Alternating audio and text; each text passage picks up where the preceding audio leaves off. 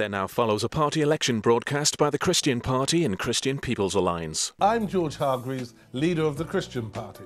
And I'm Alan Craig, leader of the Christian People's Alliance. The Christian Party and the Christian People's Alliance have joined forces to fight the European parliamentary elections on a platform of justice for all, respect for God, and care for His creation. The Christian Party is a Bible believing, faith based Conservative Party that believes in small government, greater neighbourly responsibility, low taxes based on an economy driven by thrift and enterprise rather than debt and consumerism. The Christian People's Alliance is a Christian democratic party linked to Christians in politics right across Europe. We exist to challenge the secular agenda of the big parties, and we've carried the support of church leaders right the way from Anglicans, Roman Catholics, evangelicals. What unites us is our Christian faith and the values that flow from it. Judeo Christian values that have carved out our heritage and our history and provide the foundations for our hope in the future. Together, the Christian Party and the Christian People's Alliance have set out a manifesto of practical measures based on biblical principles that, if adopted, will make a better Britain for us all. We've called our manifesto a time of jubilee. Truth and integrity in the world of finance and its systems is a must. Change is vital. Life is a gift and we need to treat it as such, giving every opportunity to protect it. Let the people of this nation have their say on the Lisbon Treaty. Let me ask you, do you want to be part of a European state? Stop sitting on your hands, get up and vote. Honesty, integrity and respect are the values on which Europe has been built. Let's protect them.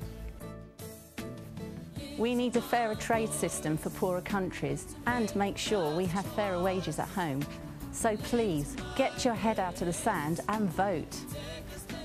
Suppose, for example, you're a voter and you have candidate X and candidate Y.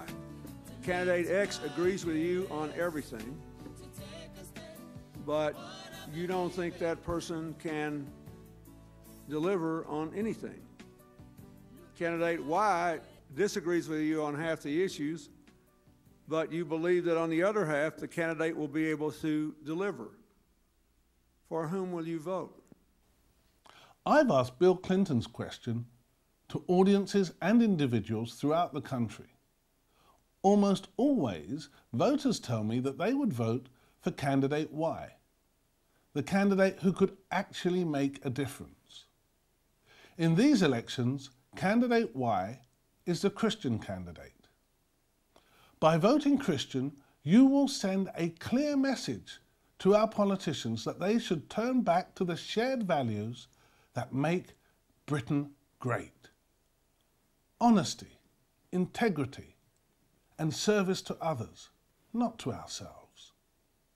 By voting Christian, you will elect MEPs who will set an example, who will model those values through humility, not arrogance, fidelity, not falsehood, diligence, not dishonesty.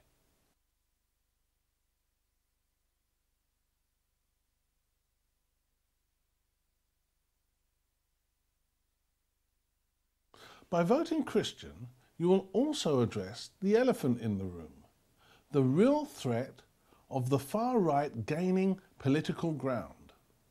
By voting Christian, you will prevent such extremists from winning seats in the European Parliament.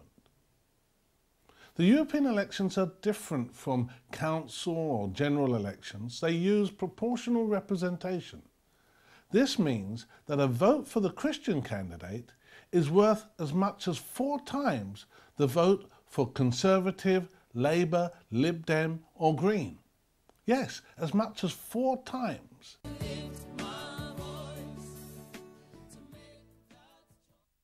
That was a party election broadcast by the Christian Party and Christian People's